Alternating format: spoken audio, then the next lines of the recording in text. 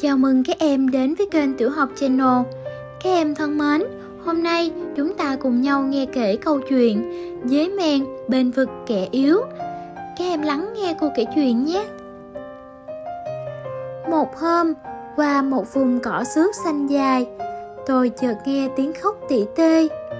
Đi vài bước nữa, tôi gặp chị nhà trò ngồi gục đầu bên tảng đá cuội. Chị nhà trò đã bé nhỏ, lại gầy yếu quá, người bự những phấn, như mới lột. Chị mặc áo thâm dài, đôi chỗ chấm điểm vàng, hai cánh mỏng như cánh bướm non, lại ngắn chuồn chuồn. Hình như cánh yếu quá, chưa quen mở, mà cho dù có khỏe cũng chẳng bay được xa. Tôi đến gần, chị nhà trò vẫn khóc. Nước nở mãi, chị mới kể. Năm trước, gặp khi trời làm đói kém, mẹ em phải vay lương ăn của bọn nhện. Sau đấy, không may mẹ em mất đi, còn lại thui thủi có mình em. Mà em ốm yếu, kiếm bữa cũng chẳng đủ. Bao năm nghèo túng vẫn hoàn nghèo túng. Mấy bận bọn nhện đã đánh em. Hôm nay bọn chúng chăn tơ ngang đường, đè bắt em, vặt chân, vặt cánh ăn thịt em.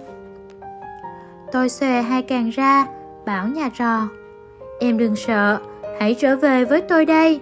Đứa độc ác không thể cậy khỏe ăn thiếp kẻ yếu. Rồi tôi dắt nhà trò đi. Được một quãng thì tới chỗ mai phục của bọn nhện. Bọn nhện chằn từ bên nọ sang bên kia đường. Biết bao tơ nhện. Lại thêm sừng sững giữa lối đi Một anh nhện gọc. Nhìn vào các khe đá chung quanh Tôi thấy lũng củng những nhện là nhện. Chúng đứng im như đá, Mà coi vẻ hung dữ. Tôi cất tiếng hỏi lớn. Ai đứng chấp bu bọn này? Ra đây ta nói chuyện. Từ trong hốc đá, Một mụ nhện cái, Cong chân nhảy ra. Hai bên có hai nhện vách nhảy kèm. Dáng đây là vị chúa trùm nhà nhện. Nam cũng đanh đá Nặc nô lắm. Tôi quay phát lưng phóng càng đạp phanh phách ra oai.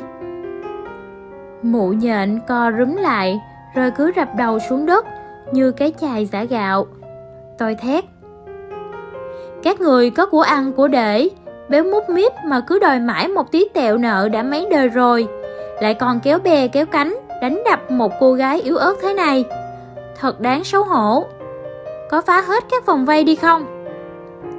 Bọn nhện sợ hãi, cùng dạ rang, Cả bọn cuốn cuồng, chạy dọc, chạy ngang, phá hết các dây tơ chăn lối. Con đường về tổ nhà trò quan hẳn. Theo Tô Hoài. Câu chuyện đến đây là hết rồi. Cảm ơn các em đã lắng nghe. Các em hãy tiếp tục like và subscribe kênh Tiểu học Channel để được lắng nghe những câu chuyện tiếp theo các em nhé.